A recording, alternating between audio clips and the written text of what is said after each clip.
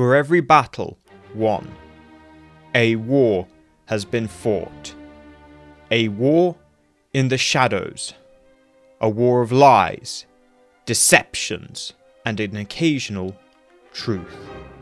Greetings, lore members, and welcome to this Dominion War special episode on spies and intelligence gathering. This is one I've been intending to make for quite a while because it's quite critical to how the war plays out. Even if it's not immediately obvious, a lot of the decision making happening in the background will be shaped by the war of espionage that is taking place at the same time, and in many ways, it actually will predate and postdate the war for any single engagement of fighting, weeks, if not years, of careful, meticulous intelligence gathering and analysis will have taken place. And so it's very critical to understand this process in order to understand the decision making that takes place during the war. And with that in mind, a lot of decisions that at first seem strange start to make a lot more sense. So, let's get right into it. First thing to do is to bring you up to date with where the intelligence services of the combatants find themselves at the outbreak of war. The 24th century, prior to the Dominion War, was in many ways the golden age of espionage for obvious reasons. It was a time of peace, and in such a time, spies are free to really conduct their business how they see fit. Objectives are far less based in winning tactical gains. Uh, there's no direct military purpose that a particular mission of espionage may go towards. Generally, espionage in this period is more long sighted, is more strategic. However, in the run up to the Dominion War, many of the strongest and proudest intelligence services were heavily degraded by various measures taken by the Dominion. The Dominion probably realizing that they were at quite the uh, disadvantage when it came to intelligence services and seeking to even the playing field. First intelligence service we're going to talk about is Klingon intelligence. Now, while these days Klingon intelligence is the butt of many jokes, in their day, in the 23rd century, Klingon intelligence was among the foremost in the Alpha and Beta quadrants. It really was something to be respected. They were very, very good when it came to uh, infiltration and intelligence gathering. Now, unfortunately, they suffered several setbacks in the 24th century, um, largely due to the fact that the Romulans enacted an active campaign to degrade the Klingons' intelligence capabilities. The Romulans would generally try to turn Klingon agents, meaning that a fair number of agents that were ostensibly working for the Klingons were in fact working for the Romulans, and those that they couldn't turn, they would take out.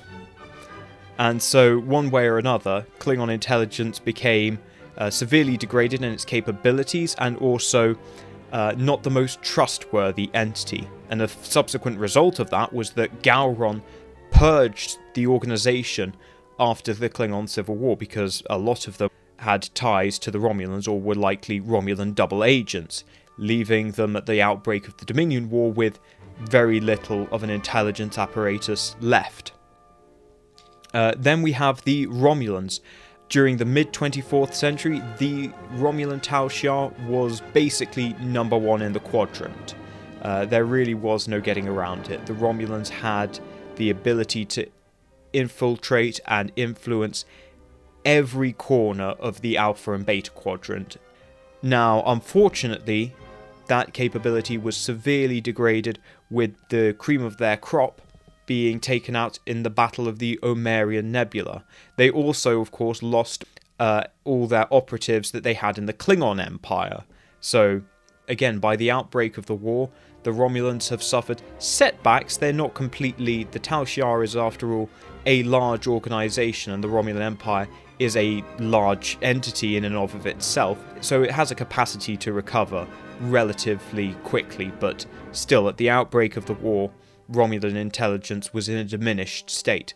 The same cannot be said of the Cardassian Obsidian Order, which was in a far worse state. Well, essentially, the Cardassian Obsidian Order actually suffered from both the problems that afflicted the Klingons and the Romulans, in as much as you have the Battle of the Omarian Nebula, which severely weakened the organization, but then it took a double whammy in the form of political purges after the Cardassian Revolution, because of course in Cardassia the intelligence and security services were very much political and tied to the power of the old regime, and so a lot of those people were purged after the revolution and put in prison, meaning that they took a real hit to their intelligence apparatus and it wouldn't really recover until during the war.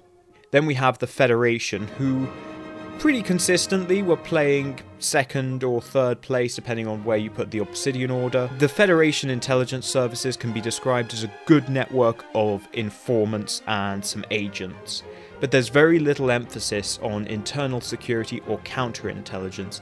This is derived from experiences during the Tomed incident. The Federation really felt that actually allowing spies to operate, not completely, you know, unchecked, you keep an eye on what the enemy spies are doing, but they took a live and let live approach to spies of other nations because they believed that that greater level of transparency would help avert future wars. And question that wisdom, but they would ultimately pay for it because they were completely unprepared for the changeling infiltration that prefigured the Dominion War. After the shock of the changeling crisis and the changeling infiltrations, they really began to up their game when it came to internal security, but they were always playing catch up in that particular area. So finally, we come to, I suppose, the main star, but in many ways, the weakest of the five Dominion intelligence. The Dominion don't really make any use of agents or operatives. They are very reliant on third party subcontractors for information collection and analysis rather than themselves um, have intelligence assets. They actually just outsource that to spy, you know, spy rings, third party independent operating spy rings and information brokers, and basically get them to do most of the actual uh, information gathering. There are obvious problems with that, not least that they these are just as vulnerable to infiltration by other intelligence agencies, if not more vulnerable than just your own independent uh, capability. The other thing to bear in mind, they have changeling infiltrators, which are very good option when it comes to sabotage and direct action. But beyond that, they don't really have a great deal of use. The Dominion also really lack any kind of robust counterintelligence apparatus and really for most of the war were quite reliant on their Cardassian allies to clean house, so to speak. Okay, so at the outbreak of the Dominion War, the Federation is actually in the strongest position, then followed by the Dominion by virtue of neither of them suffering any particular setbacks, followed by the Romulans who are quickly recovering, then by the Cardassians who have a very good culture behind them, and then by the Klingons. Klingon intelligence has had a rough ride of it in the past few decades. Now, it's worth saying that by the end of the war, all the Alpha Quadrant powers, including the Cardassians, would see an improvement in their intelligence gathering capabilities and their various espionage programs. It was only the Dominion that stayed relatively stagnant because the Dominion intelligence apparatus was not a sustainable one. It was one that, as we, as I say, is very reliant on third parties and also mostly puts emphasis on sabotage. Sabotage is great, but it means you burn your assets. Once you get a changeling infiltrator to perform some kind of sabotage, the enemy's counterintelligence assets are going to be wise to it and they're going to be looking for that particular operative. And so you can use them once, and then that's it. With that in mind, we'll take a look at the various forms of intelligence gathering and how they factor together. The first thing I want to mention is that we need to draw a delineation between intelligence, which in wartime conditions is tantamount to rumour, and what we will call information information is something that is that has been cross-referenced and is actionable. It is concrete. You can be at least relatively certain that it is at least 60% true. It's not likely to be a deception. It may be inaccurate, it may be exaggerated, it may be, you know, any number of things, but it, there will be a, a grain of truth to it. That's the difference between information and general intelligence. In wartime conditions, that's just white noise, and you're trying to sift out of intelligence actual actionable information. So you're going to be doing that by generally cross referencing a number of different sources, which we'll go into. So obviously the kind of the center of this matrix is data analysis. This is where you're going to cross-reference your different sources in order to produce actionable information. But then we have a whole series of different capabilities. We have really two schools of thought of capability. We have what I'll call remote capabilities, and then we have field capabilities. The first remote capability would be uh, open source intelligence, i.e., you know, you're just gleaning through general information that is publicly available and trying to put things together. Simple enough. That's really a matter of brute force a lot of the time. You just need lots of people.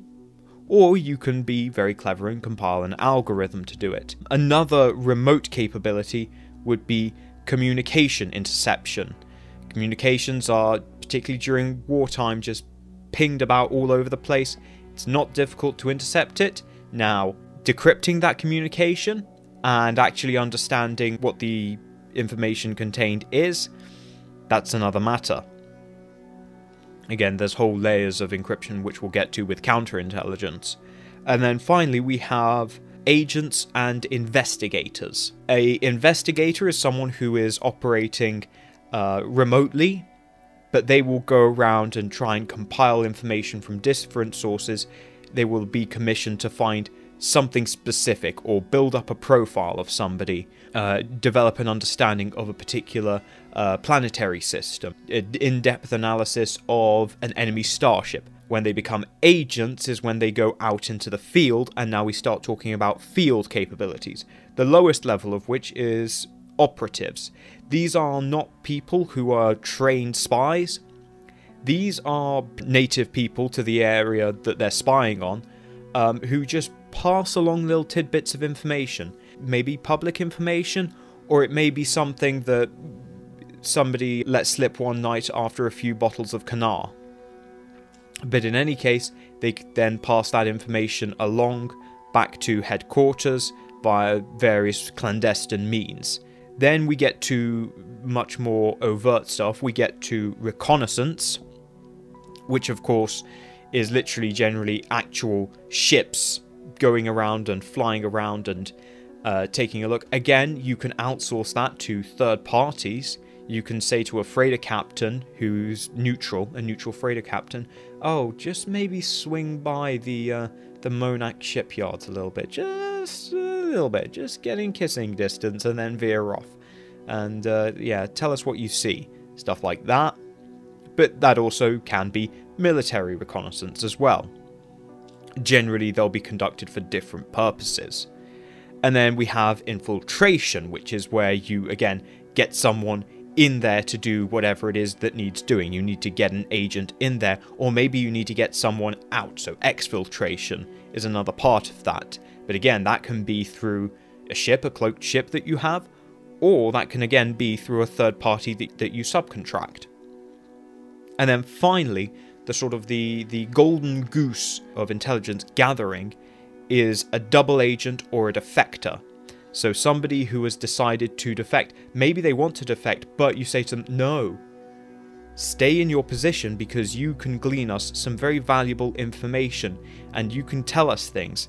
So you pass along the orders or the logistics requests that you've been receiving and then we can, you know, take care of that. I mean, yeah, if you're a, a, low level logistics person, um, a logistics clerk, and you get sent re requisition forms, well, individually, that might not mean much to you, but if you were to pass them along to a certain intelligence agent, they'll pass that along to uh, the analysts and they can cross reference that with other things that are going on and they can produce very actionable information out of that. Maybe an offensive is being prepared, and you may not even know yourself, even though you're part of the military that is planning that offensive.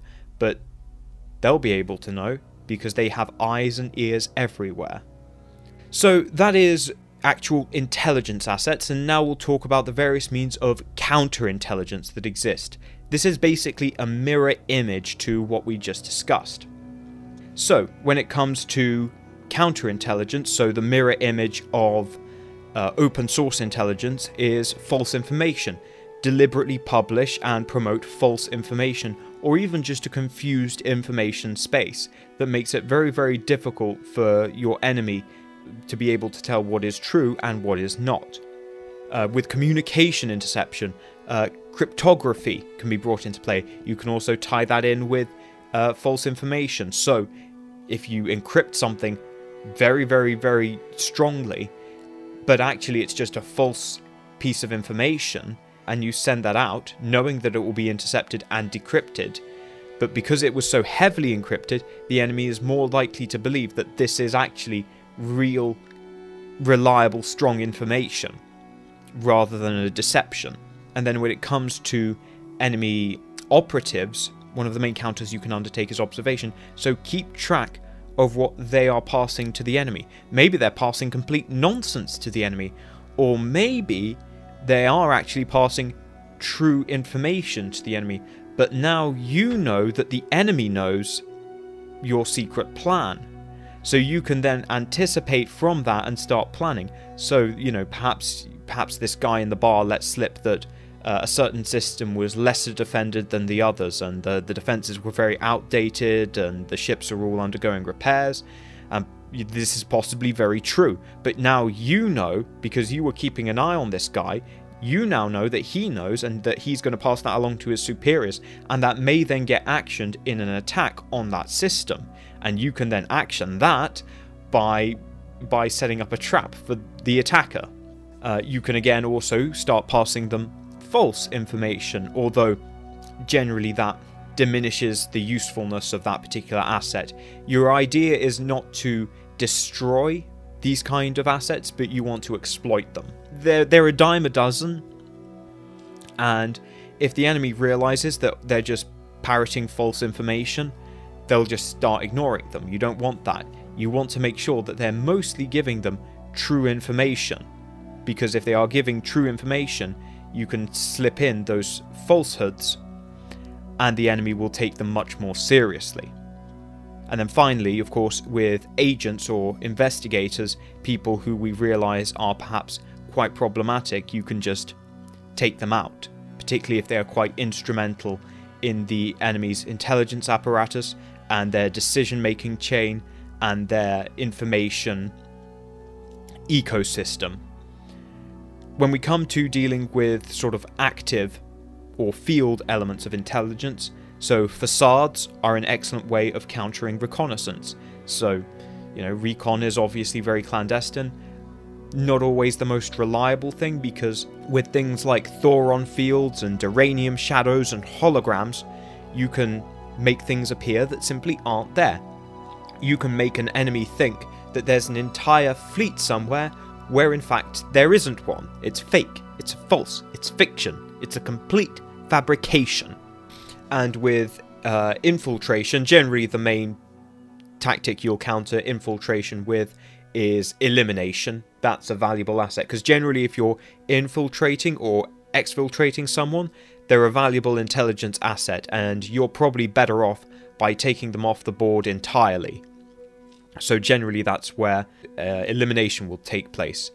Uh, and then finally we have triple agents. So so this is someone who actually maybe you get them to defect and give a load of false information or you tell them that they should start passing information to the enemy or maybe you catch them passing information to the enemy and you let them know that we've caught you and things will get very very ugly for you and everyone you know if you don't start playing ball. So, how about you start passing this information to the enemy, and thereby you counter and turn to your advantage a defector or double agent.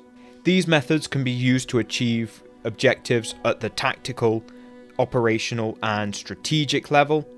So, at the tactical level, that can be simply used to um, outmaneuver an enemy force or enact a, a trap. At the operational level, it can be used to locate key vulnerabilities and objectives on the front lines. And on the strategic level, you can use it to infiltrate an enemy command chain or ensure the continued support of an ally. After all, only friends can spy on each other like that. Right, so let's get into specializations. The different powers specialize in different forms of intelligence gathering assets. They obviously all maintain a broad spectrum of capabilities, but these are where the emphases are. The Federation makes great use of compromised assets, such as double agents or defectors, as well as operatives, and also in using its media. Federation media is huge and it dominates the uh, the subspace network, and therefore they can project a lot of false information and white noise into the information space. With the Klingons, their emphasis is on much more direct capabilities, so reconnaissance, infiltration, and assassination. That's one art that the Klingons haven't forgotten. The Romulans put a great deal of emphasis on training up very capable agents and investigators to deal with the complex problems posed by a distorted or opaque information space. They're also very good at creating facades. When you have an entire fleet that can appear and disappear at will, it's very easy to deceive the enemy and have them fighting ghosts. And finally, their capability to create triple agents, which is almost certainly a product of their uh, back and forth with Starfleet intelligence. Now we get to the Cardassians. Cardassians put a great deal of emphasis on communication and broad spectrum intelligence gathering, by which I mean uh, communications intercept, cryptography and counter cryptography, and open source intelligence gathering. You will notice these are large scale operations. So, unlike other intelligence agencies which are relatively small, the Obsidian Order employs thousands upon thousands upon thousands of analysts to just sift through raw information, raw communications, encrypted um, messages, and to just brute force their way through any kind of uh, problem when it comes to the information space. And Cardassians are very analytical and calculating minds, and they're very, very good when it comes to recognizing patterns and drawing actionable information out of what seems like just gibberish to everyone else. Finally, as I mentioned with the Dominion, their capabilities are in infiltration, assassination, elimination, and sabotage. Very narrow set of capabilities in, in the grand scheme of things. So, to conclude, as I say, for every battle fought during, during the war, a campaign has been fought in the shadows. It's also interesting that many of these intelligence services were actually heavily degraded in the run up to the Dominion War. This could have been a true war of spies, but the Dominion didn't want that. And so, really, it was not the best outing for the any of the intelligence agencies of the Alpha Quadrant, and they didn't really recover to their former state until really after the war, at which point there's no enemy to fight. But uh, that's where you get to go back to the old uh, Cold War style of espionage, which everyone enjoyed a lot more anyway. That's what made the intelligence agencies of the Alpha Quadrant so effective compared to those of the Dominion, because the Alpha Quadrant has for over 200 years been locked into one form of Cold War or another. And while in space you may say all warriors are Cold Warriors, I would say the true Cold Warriors are spies. They are the first and the last casualties of any war. and their war never ends. Thank you guys for watching. I hope you enjoyed. Leave your thoughts in the comments below. Thank you to my members for supporting this content, and I will see you all next time.